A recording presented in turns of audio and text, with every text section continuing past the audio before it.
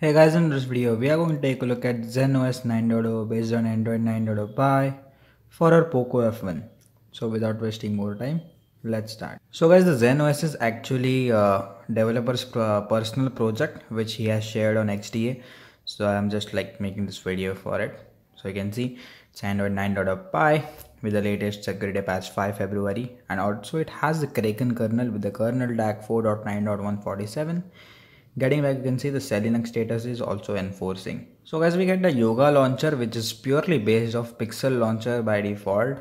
And you can see into the home settings we get similar uh, stuff. You can see we have some additions like change icon shape swipe for notifications. And you can see you also have the display google app. Here you can see yoga launcher. You can see based on pure AOSP launcher 3 or the pixel launcher in like short. You can see the developer info vim polter now into the app drawer you can see we have all like AOSP apps. Now some of the apps are installed by me.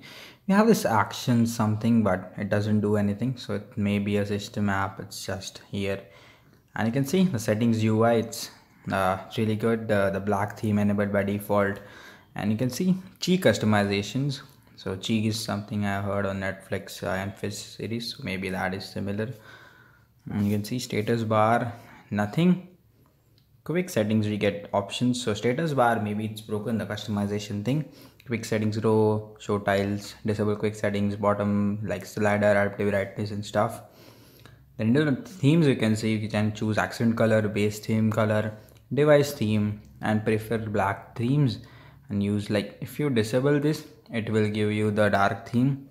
And if you enable this it will give you the pure black theme like AMOLED theme.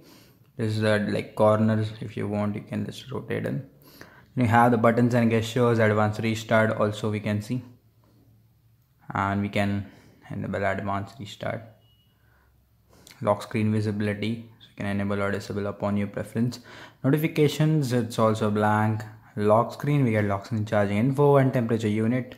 Double tap to sleep on lock screen. And also we have the volume panel customization in the sound settings so you can see. Can customize the volume panel we have all of the options. Also you can move it to the left. So these are the options like customizations available. And this AOSP ROM base has really minimal customizations as you saw.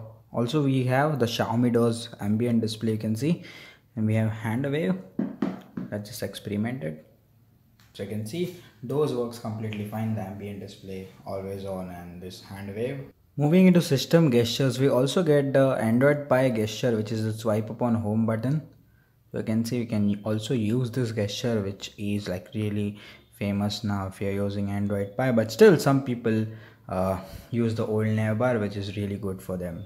Also guys, we don't have MIUI or Gcam as the default. We get this uh, normal Google camera, which is not at all, uh, it's good for this. So you can enable Camera2 API flash MIUI camera or Gcam which is really useful for this device. And guys that's it for the video review of the Zen OS 9.0 Pie review uh, ROM for our Poco F1. So if you guys really like this video press the like button if not press the dislike button. Subscribe for more videos on the Poco F1 and other devices and I will see you guys in the next one. Till then bye bye.